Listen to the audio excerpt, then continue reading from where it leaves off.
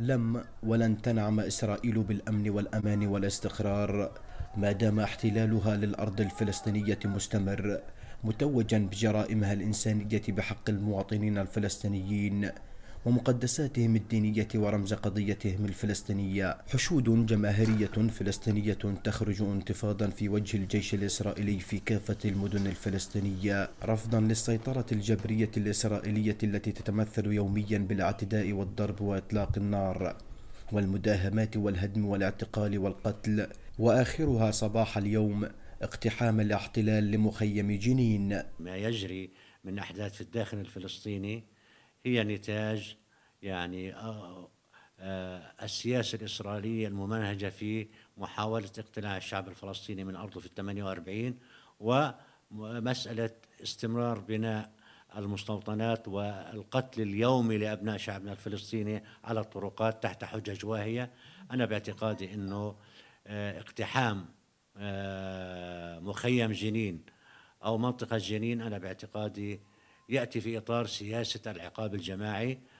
ترسخ المنظومة الإسرائيلية بجميع أجهزتها الأمنية والعسكرية كل طاقاتها لفرض الهدوء والسيطرة على الفلسطينيين في المدن الفلسطينية كافة مسفرة عن حملات اعتقال طالت مدينة القدس وجنين ونابلس.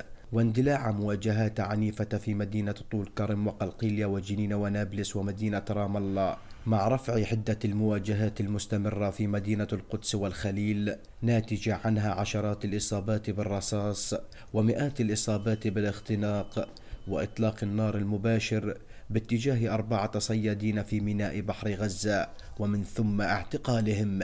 تطلق يد قطعان مستوطنيها في استباحة الأماكن المقدسة وعلى رأسها المسجد الأقصى ومصادرة الأراضي في الضفة الغربية واستمرار الاعتداءات على المدنيين مما ولد ردود أفعال فلسطينية آه، في تصعيد أشكال التصدي لمخططات الاحتلال في آه، وممارسات وسياسات التمييز العنصري. تقابلها دولة الاحتلال الآن باقتحامات للمخيمات والمدن. وصلت حصيلة فيها الشهداء منذ بدء هذا العام إلى 42 شهيد فلسطيني. آه، هذا يدلل إلى أي مدى تستبيح دولة الاحتلال الدم الفلسطيني وتستخدم القوى المفرطة. حالة من الهستيريا أصابت الكيان الإسرائيلي بعد عملية نفذها فلسطيني ليلة أمس. استمرت لمدة تسع ساعات في شارع ديسنكوف وسط مدينة تل أبيب. الشارع الذي تعتبره إسرائيل أكثر الشوارع أمنا بالنسبة لها. العملية التي أسفرت عن مقتل ثلاثة إسرائيليين من بينهم ضابط إسرائيلي للقوات الخاصة الإسرائيلية.